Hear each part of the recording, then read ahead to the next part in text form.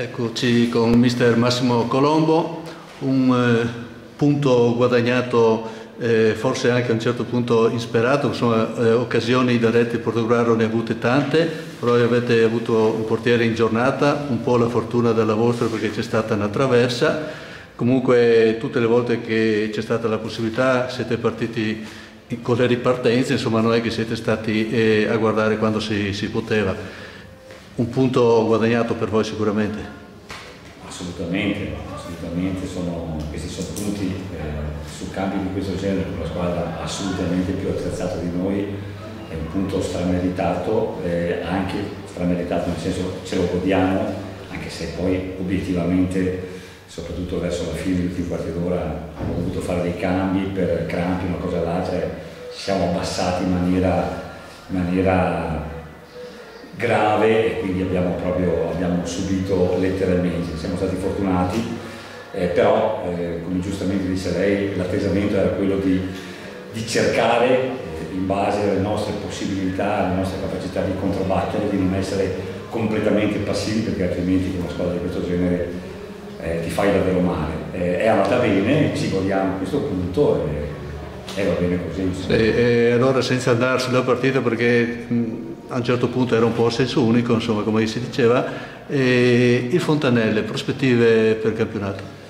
Beh, allora, eh, diciamo che eh, dopo l'annata eh, importantissima che ha fatto l'anno scorso, eh, erano partiti, non dico con, con, gli stessi obiettivi, perché eh, è una società eh, tranquilla che non, ha, che non ha ambizioni particolari, però erano partiti in senso assolutamente negativo eh, hanno cambiato, mi hanno chiamato, ho cercato di, di, di, di imprimere un po' di, personalità da un punto di vista anche di mentalità e fargli capire che proprio zero, zero negativi non eravamo, non eravamo e i ragazzi hanno reagito alla grande perché hanno, se non altro, dimostrato eh, un, un cuore battagliero, non hanno mai mollato hanno sempre creduto, ma è quello che io cerco di, di fargli capire e di dirgli durante la settimana. Eh, alla fin fine, insomma, anche se è un punto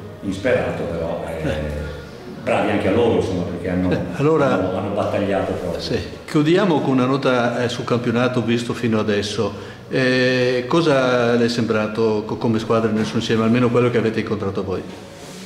Beh, eh, quello che ho incontrato io eh, incontrato Lois Presiano e il Favaro Veneto domenica scorsa.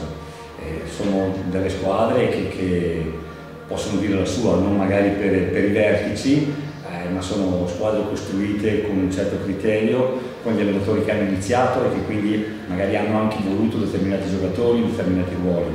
E quindi eh, sono, sono, squadre eh, attrezzate. Poi eh, chiaramente non menzioniamo eh, quella che può essere la Pitergina, eh, il Porto Uguaro stesso, la Prodeco che sicuramente hanno, hanno delle cose in più e, e quindi eh, si risolverà lì, insomma, credo. Ci sono 3-4 pretendenti insomma. Prego? 3-4 pretendenti? Sì, secondo me sì. Noi facciamo il nostro campionato, cerchiamo di uscire il più velocemente possibile da situazioni e da classifiche un po', un po traballanti, ma il nostro obiettivo è quello appunto di, di, chiudere in maniera tranquilla, fare più punti possibile il prima possibile, questo è il nostro obiettivo. Bene, grazie mister. Grazie a lei.